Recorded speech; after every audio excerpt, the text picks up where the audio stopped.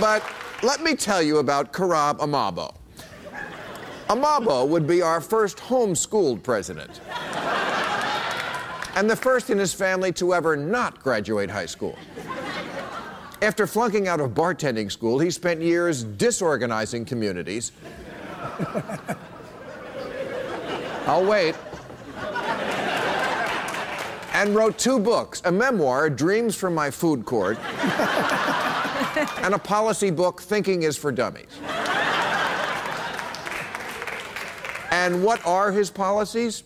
Karab Amabo believes we should increase our dependency on foreign oil and shrink the size of government until it only performs the most basic functions killing Arabs, paying farmers to grow corn, and probing people at the airport.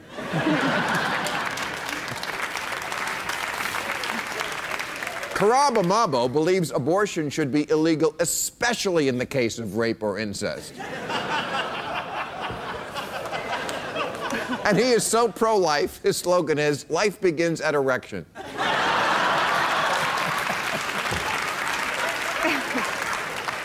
Karab Amabo pledges to repeal the job killing health care bill and to implement Amabo Care a comprehensive program that gives uninsured people with pre existing conditions the opportunity to walk it off.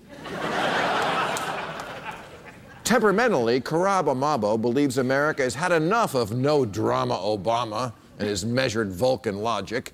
And at the first sign of crisis, Amabo will pray, scream, shit his pants, and fly Air Force One into a mountain. and what of the Amabo's family? Karab Amabo's wife is a sour, ashen midget whose flaccid arms are so weak she can ba barely do her job operating the deep fryer at Jack in the Box. the Amabos and their two sons go to church every four hours, and they have a meth lab where the White House garden used to be.